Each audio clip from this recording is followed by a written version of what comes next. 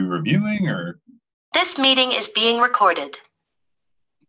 Colin, it's funny you bring that up because that's exactly what I asked uh, Nancy to do in this, have the them do in this meeting. That oh, okay. Um, it's been uh, since August, well, July of 2021, when this whole process started, when we picked the uh, firm, and we've been through lots of chapters. And I took Brenda's emails as a as a good hunch that yes, we needed to review exactly what we're supposed to be doing.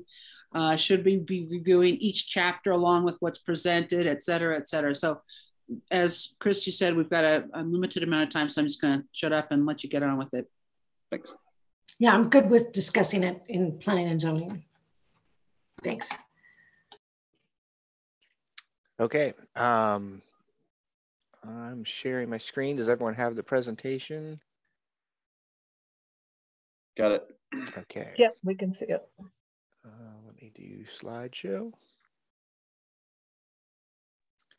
Okay, um, so just before we get started, I, I kind of it had skipped my mind that um, we had two new members, so the presentation is more of an overview, but kind of getting to those last two comments, this is a chance for us to kind of step back and regroup, assess where we're at, and and make sure um, we all know what to be doing going forward. So that's a, a so some really good comments. Um, just a, a, precursor to the whole presentation is um, the drafts you all received, um, Planning Commission Steering Committee received um, through the later months of last year are still the latest drafts. Um, we have been filtering things up to council um, that have comments or notes from both your input and their input but we're kind of waiting to amend all those once we get the full picture and, and essentially can start building that into um, the the final recommended draft. So um, for those of you trying to catch up or new members, you're you're you have all the you have access to the same information that everyone else has. I know it's kind of more of a fire hose of information. So hopefully this presentation gives you a, little bit of a taste um, of where we're going. And then um, one of the slides I put in an earlier council presentation that's not in this, that now I'm kind of wishing it was, was we're presenting all of this information in, in three kind of levels of detail. One, an executive summary that's just kind of a high level of what each of the chapters is addressing compared to what your current codes are addressing. Um, two is what we call section maps, where we'll go through section by section of the proposed code and identify um, where similar topics are addressed in your current code and then put a brief comment about how we're addressing it differently um, or if it's a new section and why it's a new section um, or if nothing's changing why why nothing's changing. So that gives you kind of a, a an easier way to kind of wade into the code as much as you want. And then obviously all the draft sections for those people that want to really get into the the nuts and bolts and details of it um, will be available. So those all of those things that we delivered um, late last year are the current status, and you can kind of check either the ones that went to you or the council, I believe, um, are available on the website, or if not, we or staff can get them to you guys.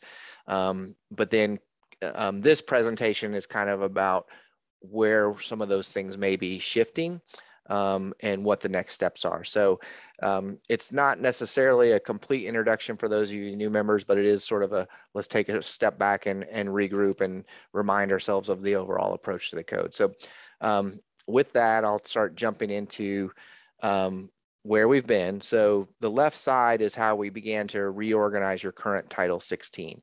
So all of the same substance of your current code, the, the development standards are are there, but we just try to organize it in a um, more logical structure based on those chapters. Um, the right side are all the all the meetings we've kind of been through and how we addressed different topics. The main one being um, when we started out in this process, uh, we were grouping things under key goals of the comprehensive plan or your code assessment that was done in 2020 and 2021. How are we addressing those really key issues?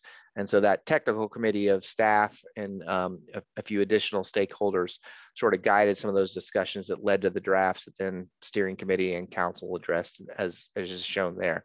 Um, and as you can see, there's a few lingering um, work sessions at council that are coming up um, that will play into this and I'll, I'll kind of close with that when, when we get to our next steps. Um, so that's kind of where we've been. And, and the other part of this is um, that's not mentioned here is the, the public engagement that we did. And um, well, about this time last year, February through um, June, we were, um, before we even started putting pen to paper of drafting changes, we started a, a big public engagement session on some of these key topics that you'll see in this, um, reflected in this as well. So we still have all of that information captured and saved. So for particularly for the new members, um, if you need access to any of it, we're more than happy to to help assist you and, and help you get up to speed. Chris, I'm sorry to interrupt, but I have Yep. some neighbors who are texting me um, saying they can't get in. Nancy, can you help fix that? Uh, I don't see anyone in my, in my queue Yeah, I- attendees. It what I'm getting is no one can get in. I mean, I can try to send them a meeting ID, but something must be wrong. Are, Suzanne- are they trying to join the you- UDC steering committee meeting or the planning and zoning commission meeting? Because if they're trying the seven o'clock link, they won't be able to get in. Okay, I will, Planning commission.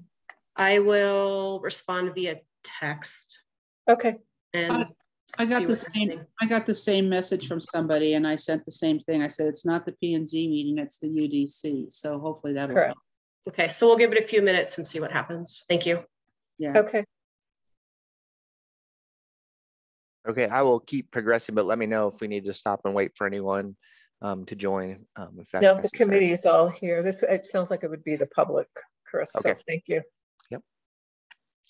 Um, so this slide kind of captures our, our overall approach. Um, you know, development codes address, can, can address three main things and um, the planning profession in general is shifting from um, a, a historic focus on the left side of the screen, looking just at land uses to moving more towards the right side of the screen of looking at um, how large scale pieces fit together and then uh, an increasing emphasis on design.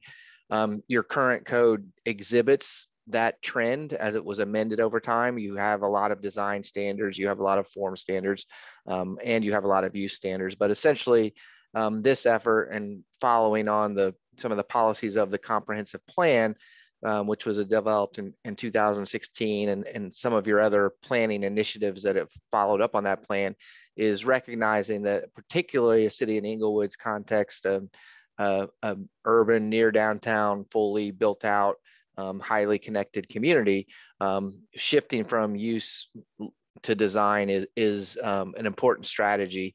Um, and that's not to say that we ignore land uses at all. It's more of just um, when we, we can simplify our standards actually by shifting more towards the right of the screen. And again, most, most of the things that we're doing um, talking about when we're regulating design are, are, already in your code in some form or another. Um, since communities don't very often revise wholesale, do complete updates to their development code, this is our opportunity to do it more in a, a more systematic way. Um, so with that, the, the other element of the code is im improving um, both the user friendliness and, and improving it as a decision-making tool. And so that's we, we call it flexibility and certainty. When you know we're always hear two things when we do um, code updates from particularly from developers or those who are regulated. If you know if they would just tell me what the standards are um, i'd be happy to comply. Um, and the second thing is well if they would just give me flexibility to do what i want i would be happy as well and, and those appear completely inconsistent but this slide kind of talks about how we regulate it as we're as we're shifting more towards design um, it becomes more and more problematic of being right. Um, in other words, the standard is X. So the above conventional approach um, just is basically what historically the planning profession has done is, you know, we develop our standards, we apply it, and if it's wrong, we tell someone to go get a variance. Um, we want to shift more towards a, a, system of how we build and why and less to a, a, collection of regulations. So as we do that, your, your draft code, you know, the standards are critically important and we want to write them in the most objective, simple way as possible. But we're also big on some of the non-regulate, non-regulatory language in the code. So on the front end, um, intent statements and what we're trying, what we're trying, what outcomes we want that guide how we apply those standards. And then on the back end, decision-making criteria and, and when do, should we consider alternatives, and then the variance as a last resort. So that's a way of balancing um, the, the twin goals of having flexibility, but also increasing certainty. So that's is scattered throughout this code now as well, that we're kind of taking a step back and looking at the larger perspective. Um, so this is what it looks like in, um, in a specific application. So that, that lower bar that we said, you, you know, we have the objective measurable standard, but usually in front of all of those, we'll have an intent statement or design objectives that say, you know, why are we doing this? What are we hoping to achieve? And that helps us interpret that standard. We may have context based criteria, things that refine where and how we apply it and when. And then we, we are able to evaluate that objective measurable standard um, when we're running into problems of, well, that's not really achieving the, it's not really appropriate for that context or it's not achieving the outcome we want. Um, we'll have some design strategies that give you options. You know, there's, there may be one, two or three or more ways to achieve that standard. And then lastly, before we get to a variance, we can build in some exceptions and administrative adjustments. The key thing here is giving staff the ability to consider things that are equally um, achieving those goals or better achieving those goals within parameters. That's that's the the approach we're trying to take. So in chapter two, that we built in a specific procedure of administrative adjustments. Again, you you have that in your code right now, but it's not really done in a systematic way. And so that section is kind of crucial that building in that flexibility at the staff level. And, and obviously staff can't make any decision they want. So they have parameters and criteria um, of when things are, are out of their hands, some of the flexibility that we're talking about. Chris, can I stop you for just a second? Yes. Um, Suzanne, have you heard from anyone? Are they able to get in or have they still had some trouble? They're still Okay. having some trouble. I'm getting, the passcode is too short. It looks to me like the meeting invite that was sent to us doesn't match the meeting invite, or at least the passcode that's on the city's website. Um, I just re, please let them know, I just republished the link okay, that I, that I've sent to like Noel and Kate, because they were, weren't able to get in either, so I, so could you please just ask them to, uh, try again, and I did hear from, I got an email from someone and I sent them the link as well, so I'm not sure what Okay. happened, but I've republished it. And I'll check the one for planning commission as well as Chris continues. all right. Kate? Thanks for bearing with the interruptions because That's this is a public meeting and it's kind of important. Uh, absolutely. Kate, you had your question, your hand up. Did you have a question? I was just going to mention that, that it said it was expired. I did try the planning commission link as well, just to see if that worked. And it also said as it was expired. Okay, I will do that. Carl? Have they tried coming in on the, uh, the agenda? The agenda has a phone number and I think there's a, a link in the agenda on the public, uh, comments part of it. I believe Okay. there is. I'll republish both this, I republished this meeting and I'll republish the link for planning commission. So we do have a member of the public uh, who's, who's here, so they've been able to join, so. Hmm. Michelle? Yeah, I just tried to log in again and it worked this time. So thank Okay, you. great. You bet. I'll make, I'll just double check the planning commission as well. Okay, Chris? Okay. Um, I will keep proceeding. And, and so for those of you just joining, it, um, rather than go back, uh, this is being recorded. So if you need to catch up, um, it will be recorded and you can go back to the beginning. But um, we're, we're sort of just getting started into the substance as well. So you may not have missed too much. Um, so this, this is our approach to flexibility in general, so that administrative adjustments is a way to, particularly when we're increasing um, the emphasis on design and where the standards um, may be one possible way of doing things, but there could be others. We don't want to over-regulate in the design area as well. So it's an area where where flexibility is important as long as we're meeting the intent and and the objectives that um, of the standards to begin with, and and I, and then we will. There's tiers of um, how much flexibility does staff have to make decisions? How much flexibility does the planning commission have? And, and then ultimately things that go up to the, to the city council. And that's a way of not shifting so many things to, oh, well, just go get a variance from the board of adjustments because that's, that's usually intended for things that are truly exceptional and hardships and unique. And um, a lot of these things in the design realm aren't necessarily that. It's just how do we, how do we implement the plans and goals and policies of the city through some of these different opportunities and, and objectives.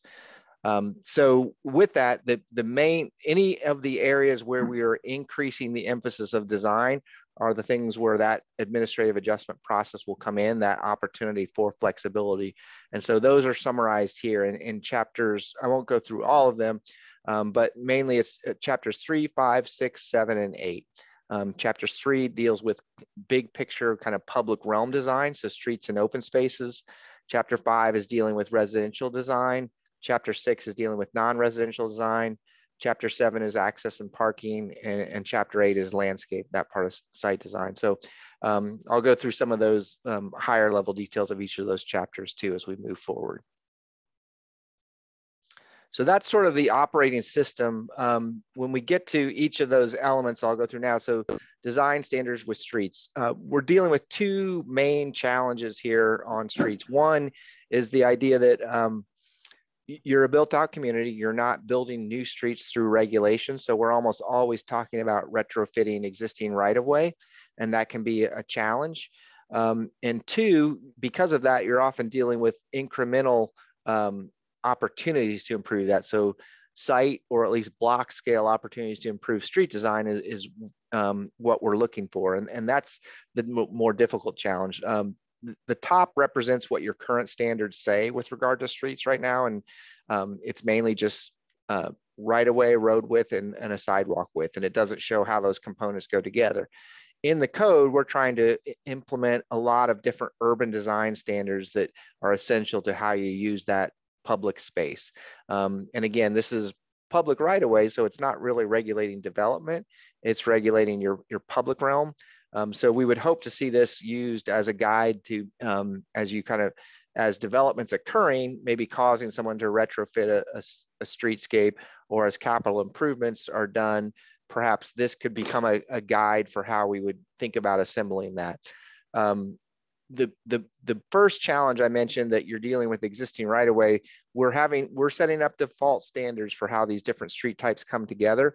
Um, but each block in your community street is probably unique. So we, while we're setting up default standards for these street types, this what's reflected on the left of the screen are some rules for how you would might apply those when you don't quite have enough room or space. So how do you um, deal with some of those competing priorities?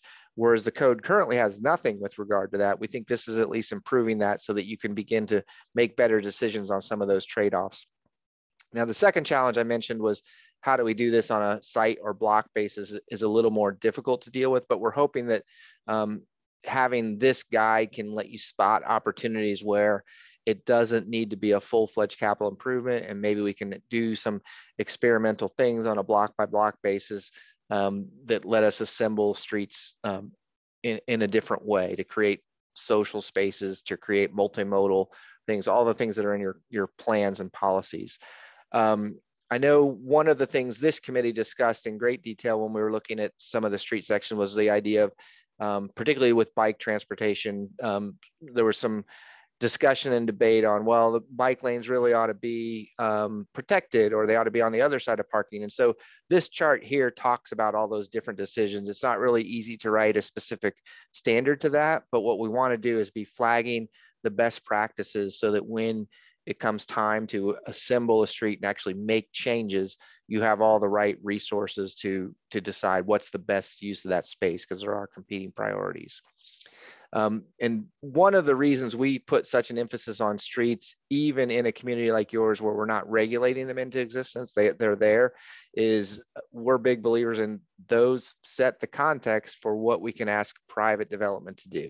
Um, so not every street's the same. So when you think of like a, a large scale traffic moving arterial, um, it doesn't make sense to require buildings to front on it and be designed in a very pedestrian way. Um, whereas on other streets that are slow, have um, on-street parking and those types of things, it completely makes sense to regulate that. So that'll come up later when we get to the non-residential design standards. Uh, a second area we're dealing with is uh, another area I should say is the um, in design standards is open space.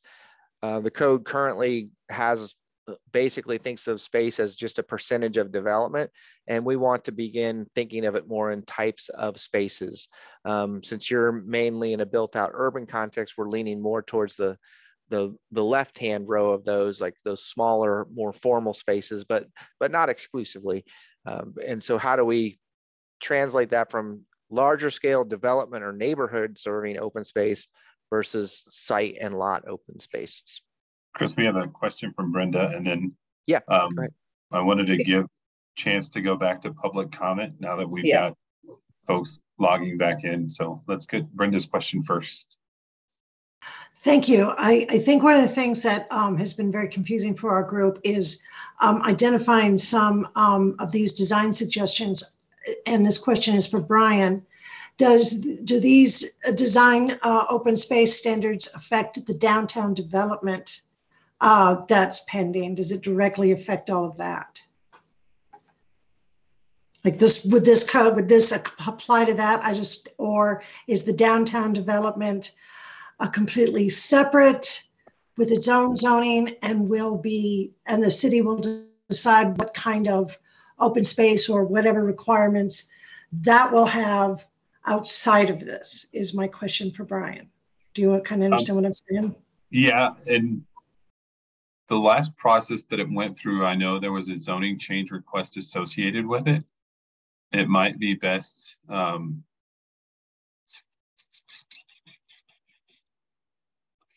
um, any, basically, any of the, the items that we put in this code affect the city. You know, the, any kind of development inside the city. So if they're trying to do, if I, I and right now I don't know where that project stands. Um, so if they're coming back with any kind of different proposal that would require a plan unit development, they could come in and alter some of our standards, like you've seen with some of the more recent PUDs that have come through. Um, but that may be a question I might want to talk to John and Dan about. And That would be to give you an helpful. Answer. Yeah, that would be helpful. Maybe we follow up on that. I mean, I was there for the whole, I, a number of us, I think, watched the workshop that they had Saturday or so ago. And um, I'm not worried, you know, that they're going to find something that's just completely off the mark of what's this is happening. But I wondered how much they're counting on this. Are they counting on us to do this first and then the downtown project because they'll have this in stone? Or are we just breaking two different things apart? So yeah, if you could maybe follow up on that, I would be grateful. Yeah, Yeah. and I would just add to, to round that out, um, we would, at this scale, these types of open spaces, we're thinking very much like we are with streets. Um, because you're a built out community, we're, we're often not regulating these into existence. But the helpful thing about putting these in the code is how does development respond to these spaces? So you respond differently to a trail adjacency or a, um, some type of park or neighborhood adjacency than you would to a more formal space like a courtyard or a plaza. Um, so we're keying the standards off of if those exist. So if they come into existence through a, a, planning effort or a capital investment of the city, they may not come in exactly like the code is saying, but what that's giving us is cues for how development should respond to it. So um, we are kind of tracking that and we can get you a more complete answer once we get um, input from John and the rest of the crew. So Brian, did I understand you want to go back to public comment since, and I do apologize to our public that you were having difficulty with the link. What is your preference, Brian?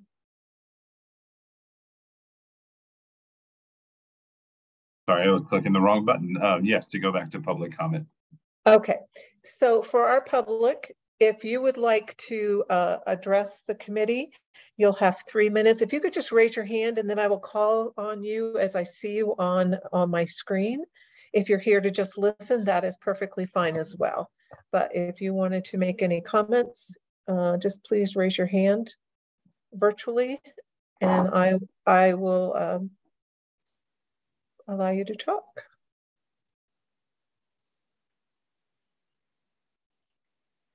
I'm not seeing any hands, so uh, perhaps our public is just here to, oh, I do see a hand. Whose hand is that? Ah, Jeanette. Okay, give me a sec. It's gonna give you a prompt to allow you to talk. You're gonna have to accept that. And then, um, And I'm unmuted, so can you hear me now? we can. Good. Since you're talking about open space and developments, I'm, I was, I'm looking at, for instance, a new development that's coming in just south of me, which is actually Littleton. And apparently Littleton considers parking space to be open space. Um, I'm, I'm hoping and I'm feeling reassured that what you're discussing here is green space and not parking space. Am I understanding that right? Uh, yes, I'll go. Yeah, you are. Um, I think there's two different standards that we would look at. One that would can sometimes open space is a proxy for limiting the building mass and scale, in which case parking um, would count to that because it's non-building space. But we're talking about actually either landscape area or usable active open space in, in this requirement. So we're trying to flip the emphasis to from just purely building coverage to something that's more um, serving a function. Okay, did anybody else want to address the committee?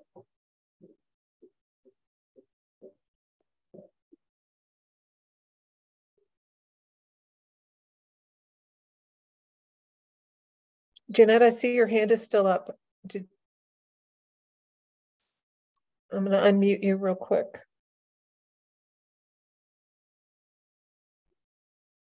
I'm sorry, I hadn't seen that you can actually put your hand down. Okay, so I've you're never seen good. that before, so I know, I'm good, thank you. Okay, thank you. Uh, Thank you, Jeanette. I appreciate you participating. I don't see any other hands, so at this point, are we, I believe, Brian, we may be good to let Chris, Chris, okay, we've got somebody right now. Hold on, sorry, I didn't see you. Uh, Jennifer, Yes, good evening. Can you hear me? you can, if you give me a second, I need to start the clock. Go ahead.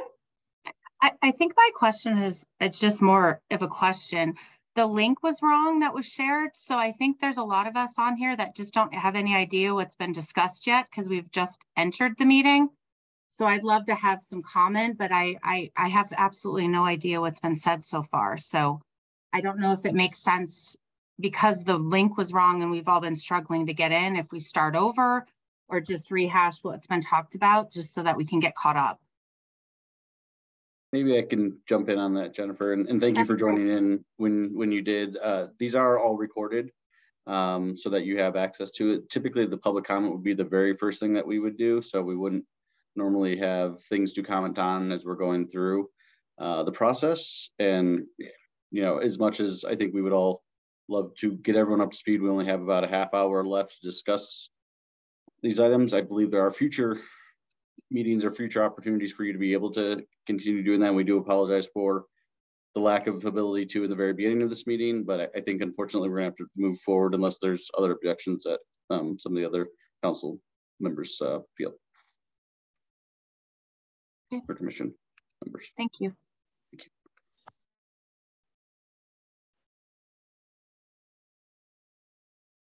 No, let's proceed. Okay. I think. Thanks. That was very good. And, and thank you, Jennifer, but Yeah, there wasn't much.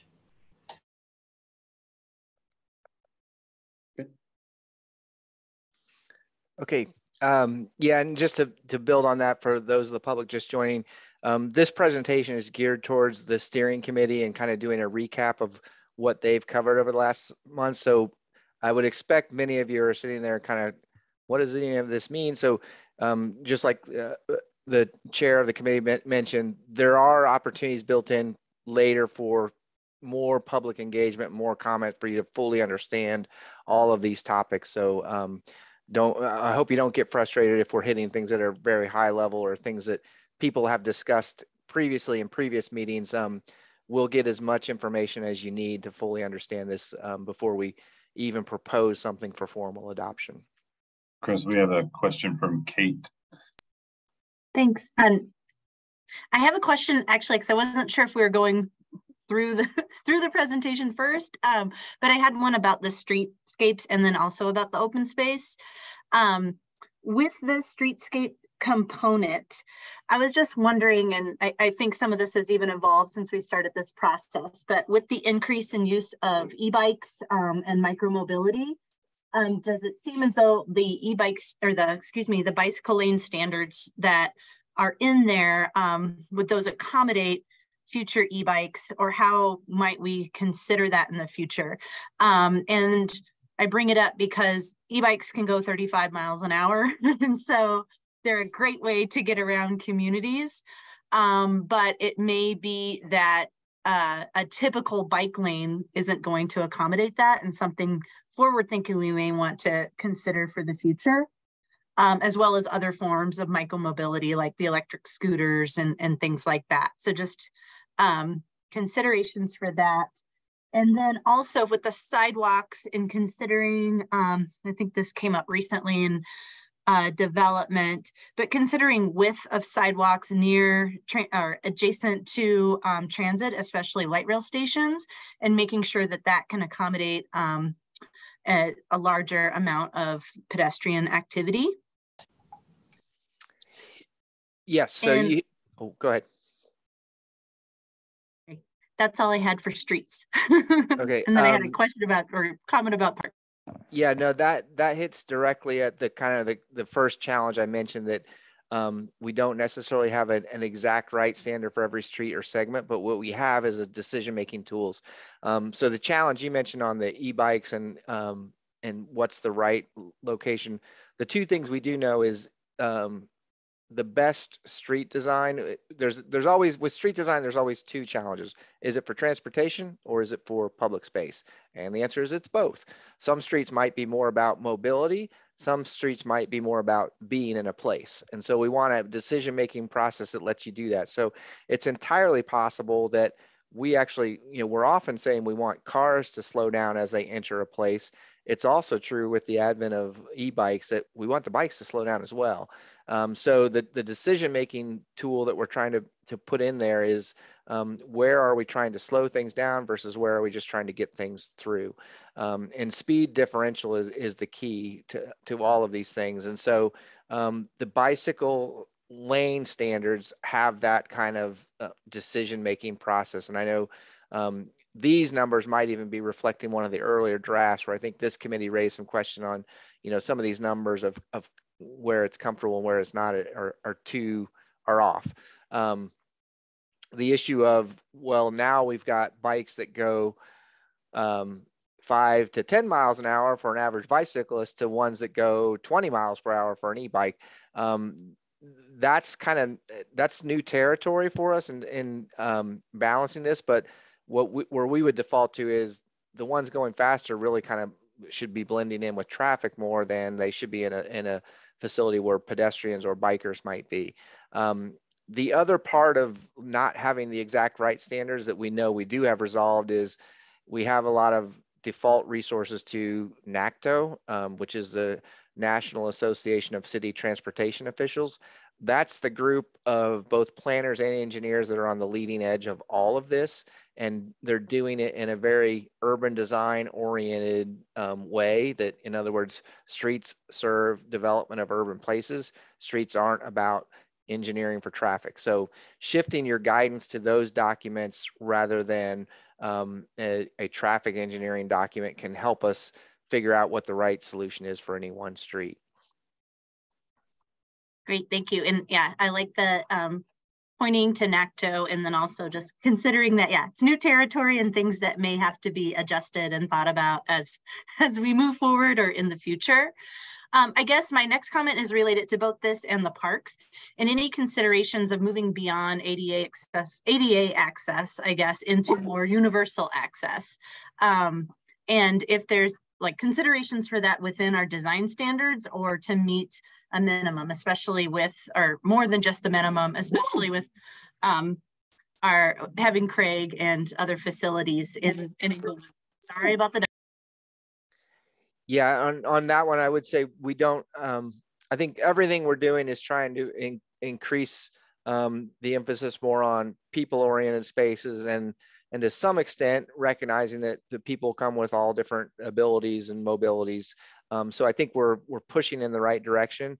Um, and I, although we may not have um, specific standards about universal design, I think that's one of those territories where that's always going to be something where if an alternative does that better, this code will will accept that as something that the, the city should um, approve and implement. Brenda, you had your hand up, but put it down. Did you have something?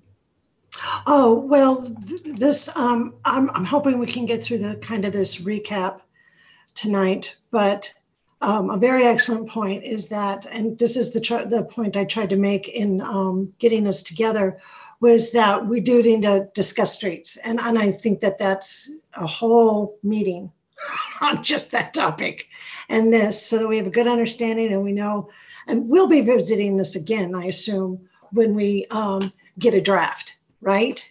And we vote on that draft. Yes, ma'am. All right. Okay, cool. That's all I wanted to say. Thank you.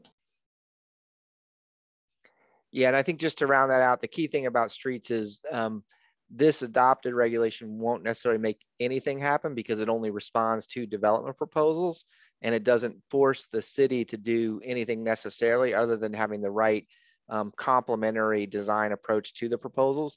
So I would see those future conversations about streets very much being about, hey, for for example, you're downtown. Let's do a downtown street network plan based on these concepts. And that street network plan will let you tweak all of these numbers that you see on this screen in that specific plan. Or let's do a particular capital improvements project for um, a major street in the city. And, and then in this case, this chart will let you tweak and adjust all those numbers based on those plans. Um, so things that are outside of regulating development, but they're the city kind of investing in its in its own property. Um, I'm going to move a little bit more quickly through some of the other design topics, um, just in the interest of wrapping up in our, our hour we have. Um, so the, the third major topic is neighborhood design, neighborhood character.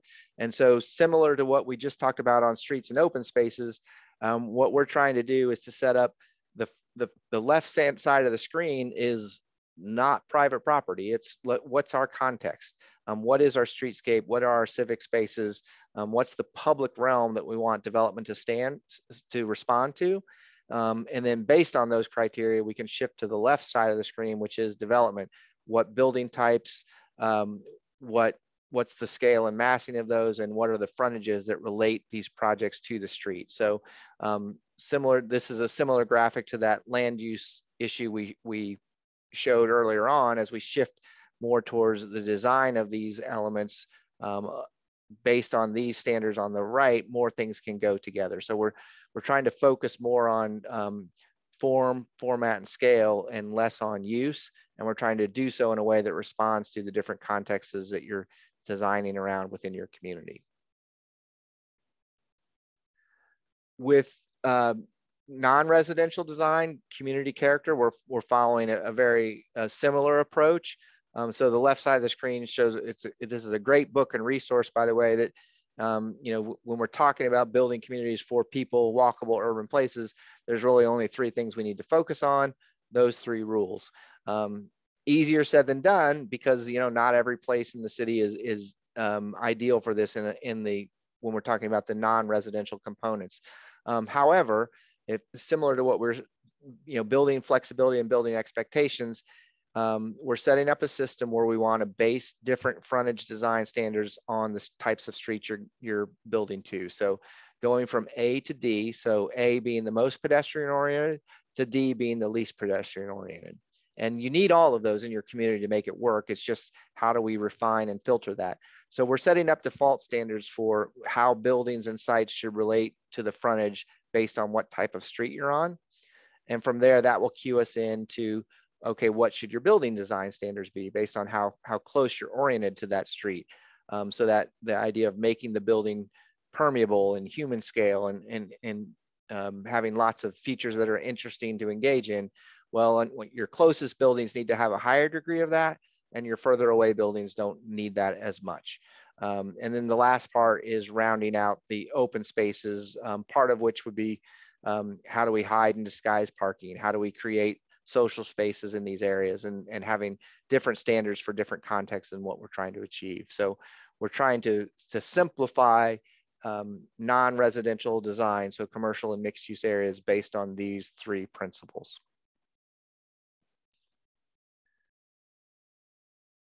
And then uh, lastly, rounding that out, the site and landscape standards, uh, you know, filling in the pieces. Um, we've repurposed a lot of your current landscape standards. And I, I should back up a minute. All of the things that we've discussed with regard to design, you currently have standards addressing these topics. They're just not done in a in a directly coordinated way or in a direct, directly context-based way. And so that's the system we're trying to put in. So when we get to that last piece of where should landscape go and how should it be oriented, we're trying to put an emphasis on the streetscapes and frontages. Um, so creating that um, engagement of development to the spaces that other people encounter most, and then dealing with where do we need to um, separate and create barriers with the parking areas and buffers and screens. Um, and all of that done in a more um, intentional and performance oriented way with the um, some flexibility with how, how are you achieving some of these goals. Um, a couple of points to the committee um, on things that have changed since um, we last presented to you in, in the later part of last year. One is on the bulk plane. Um, in the initial draft, the, the left side of your, your screen is the current standard, which we discussed. And we came up with a concept that we thought was a, maybe a more flexible standard where we gave just simply an, an, an allowance or an area of which you can be can be built closest to the side lot line. And based on that number, you could arrange it, your sort of allocation in any way you wanted. And so the idea was perhaps we would get more flexibility in the building massing because the developers are tending to want to max out their buildable area because of land costs, and that's an understandable market condition. Um, but if we gave them more options to go up, which is shown in this last um, picture, but in doing that, you couldn't go back as far was the concept. Um, so you you wouldn't solely be be pushing things towards this sort of tent approach to a building and, and we may get more interesting options and opportunities for massing buildings in a different way while still meeting the interest um, of not having negative impacts on your adjacent property. So if we could set a budget for, you know, in simple terms, use it all this way horizontally at a low scale or use it all vertically at a, at a large scale or anything in between. And then you might get any of these options. Um, in discussing it with staff and, and also with some of the council presentations, um, there was some thought that that's not going to work as well as we thought. There were some unintended consequences. So that shifted us to go back to let's do let's take two strategies since the bulk plane was familiar and working fairly well and actually had some exception criteria in there let's just simply expand the exceptions. So um, there's currently an exception that would allow something that's shown in this picture for a dormer um, that would be limited. And so what we try to do is say, well, the, let's let's build on that and allow more exceptions. But the bigger your exception, the larger your rear setback would be. So it's kind of trying to merge those two processes while keeping your current bulk plane. Um, the second thing we did take the opportunity to do is the bulk plane currently doesn't apply to any buildings that are over five plus units. So things that are currently allowed in the, particularly in the R, M, MUR3 zoning districts, um, the, the five plus unit buildings don't have any standard. Um, in that case, we set a, a step back standard for upper stories would need to be set back a certain distance. So that's a new approach and um, the, the drafts are out there and we can certainly um, discuss it with the committee or, or wait till we reviewed the drafts and circle back to that. But we think this revised approach is, is a better approach. It does have implications to a topic we will shift to in a moment here on, on housing. Um, so the, the one that this is the area where the newest, most new um, things from where this committee last left off have been shifting. And this is the this project is paired with a, um, a grant to look at affordable housing for the city. And so we've been working in parallel with Root Policy on, um, they're doing housing studies and, and um, doing feasibility studies on some of the residential building types that we've been talking about. And they're basically helping us tailor the standards and incentives to what would we consider if we get certain amounts of affordable housing in a project. Um, so those have become more developed since this committee last talked. Um, essentially, we're considering five, four main options. Um, the first is it not necessarily related to that affordability and attainability aspect, although it does prevent, present a new price point and housing option. This committee last left off with accessory dwelling units of recommending expanding that into all um, R1 districts. It's currently only allowed in R1C. Um, so expanding it into both R1A and B. And then the idea of entertaining, perhaps we'll have two accessory units on larger lots. Um, so the council direction was to expand that to even go down to 6,000 square foot lots, as well as removing some of the parking requirements for ADUs. And on each of these bullet points that I'm talking now that are current council discussion topics, um, I'll have a follow-up slide that we'll, we'll talk a little more specifically about it. Uh, the second change that they have considered is something that we were suggesting with um, the city currently has a manufactured housing um, district. It's, it's fairly limited and it, you have several of these types of projects in your community and it's very dated. And so what we were suggesting was let's broaden that um, housing tool, but also improve and increase the community design aspects of it by building in a lot of the things that we're talking about with, with neighborhoods in general and improving um, those community design aspects. So in doing that, the council was interested in, in increasing the applicability so it wouldn't just be allowed in industrial districts as is shown here in this table, but that it could possibly be allowed in, in the MUR3 zoning districts, those districts that are already um, regulated for multifamily, multi-unit development projects.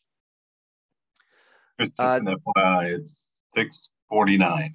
Okay, I'm getting closer, wrapping up here, so I'll speed up a little bit. Um, the third element is um, in those districts that already allow multi-unit building types um, to keep the height limits where they are right now um, and, and, sort of use that to our advantage. So if, for those of you that don't know, it's 32 feet in some districts, 40 feet in another district. So basically um, three to three and a half, maybe four story buildings is where you're at with those limits. But in exchange for having increased um, affordability in your project for those multi-unit projects, um, allowing either a height bonus, a parking reduction, or a combination of both. And then the last one was expanding uh, opportunities for two to four unit houses in R1 districts. So the easy way to think of this, if the building is scaled and, and meets the standards of what is otherwise allowed in that district, why wouldn't we allow it to have two, three, or four units? And so that's being discussed as well. So those are the four main ones. I'll go through kind of the details of each of those. So with ADUs, the biggest thing to focus on here is one, that question of bringing, allowing lots as small as we last left off with this community that the lot would have to be 7,200 square feet. So your R1B lot before it, it would have two units. Um, the council was directing us to go down as far as 6,000 square feet. So an R, R1C lot. Um, in doing so, we're recommending that when you do that, at least one of those units would have to be attached or internal to the house so that you're not necessarily adding another detached building, um, but that it's it's a similar scale to what was otherwise uh, proposed. And, and saying that, all of these are obviously the buildings and, and site are going to have to meet all the lot coverage, bulk plane, building design standards as well. Um, two other larger ones from the council was removing the owner occupancy requirement. When we last off, left off with this committee, we were going to keep it. Um, so there's an idea out there to either remove it or to have it sunset after a period of years. Um, and then removing the parking requirement uh, was another one. We had it when we last left with this committee that um, the par one parking space per accessory unit would be required. Wouldn't necessarily have to be in a garage, but it could just be a parking pad, particularly for the alley access houses. We didn't think that was too onerous. Um, however, the council wanted us to, to just remove the requirement altogether. Um, so those were the, the bigger changes with the ADUs. Um, another note, I think what was discussed here was the, the second bullet point from the bottom is revising this size limit. Um, so it's a little bit complicated having two different measures. And so we're looking at, based on the direction of both this committee and the council, having a single measure that's um, that makes sense and is slightly more lenient than the current standards. Um, with regard to that small format housing that I mentioned, that's things that people typically think of as a um, mobile home park in the old old terms, um, or a manufactured home park in, in more recent terms. Um, what we're trying to do is evolve it into a broader range for a wide range of smaller format housing communities. And so there's lots of good examples for doing that. The biggest direction, and you currently have standards for this, they're set up in a fairly prohibitive way. In fact, we suspect most of the current instances of these projects don't meet your current standards. Um, but we're, what we're looking at is reducing the minimum project size. So this could currently happen on smaller projects than their, your eight acre requirement. Um, increasing the density um, because these are very small units, that number often gets well above eight units per acre, which is your current standard. And then as I mentioned earlier, allowing some of these projects to occur in the MUR3 rather than right now, it's only an allowed use in the I1 district. And then lastly, rounding out the direction to consider the, the two to four unit buildings in the R1 and particularly in the R1A zoning district. Um, what we have before council is some um, points on potential outcomes that we need to be aware of.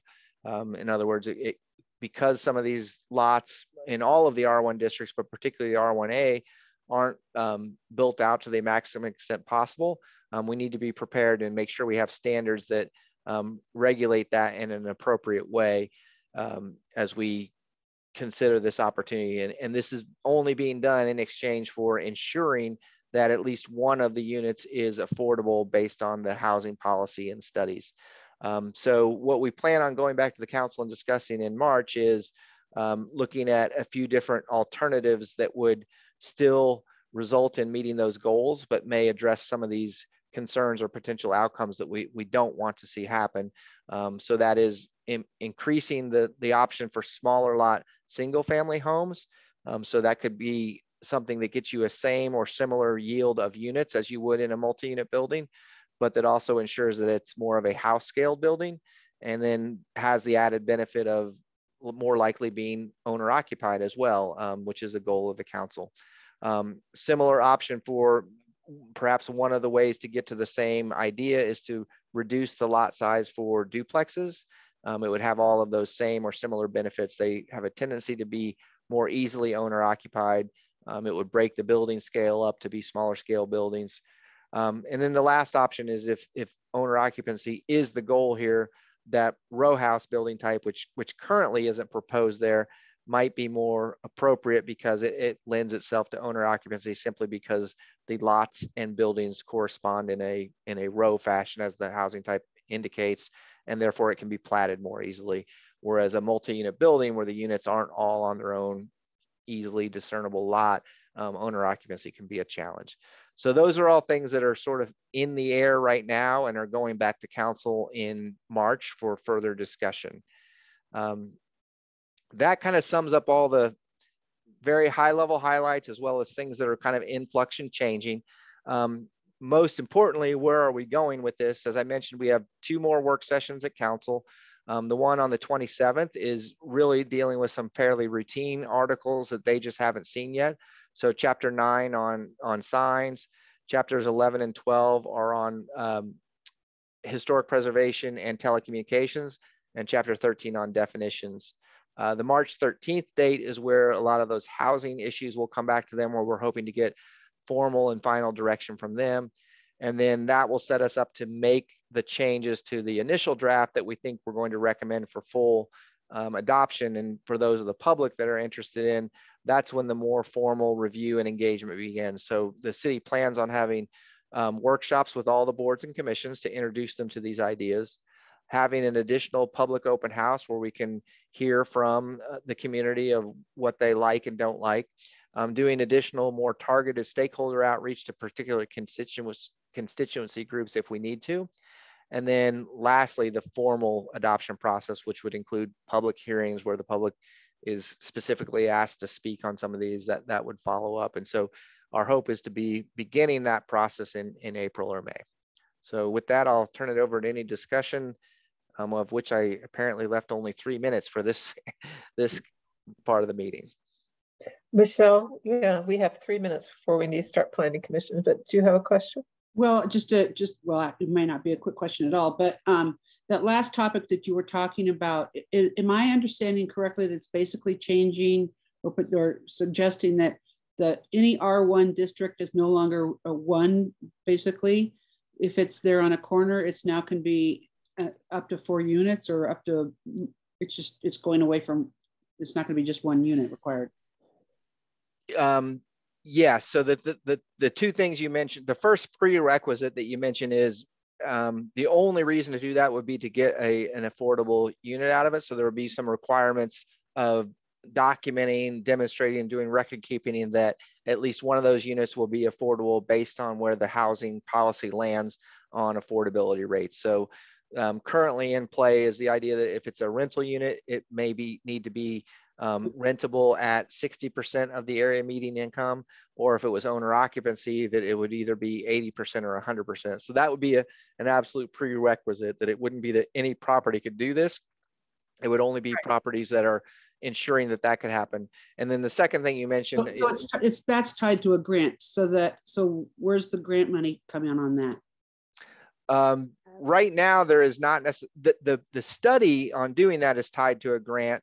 What the, the root policy is researching is, are these things feasible and buildable um, based on current market conditions? And what we're, we're finding is they are. They wouldn't necessarily need any additional incentives to do that, that they, someone could build one of these building types, could rent it or sell it at those price points, and it could at least technically or, or conceptually work. Whether anyone would commit to that, it would be up to them and up to the individual property owners. Um, the second part of your question, though, is um, we're looking at well, would this be any property? Would it only be certain properties? What what standards would it come in on? Is is currently up in the air, and so we are looking at the idea of just corner lots in some districts. Perhaps in other districts, it might be all of the areas. So areas that already have a mix of building types and building scale. Um, the R1B and C mainly are the ones um, that might be more open to it versus R1A being more restrictive. And and that's why with the R1A, we're, we're trying to consider other things that could equally achieve those goals, but be perhaps less um, impacting in terms of the potential building scale that could be built. Okay, and, and it's time for P and Z. I'm sorry if I took all the question time.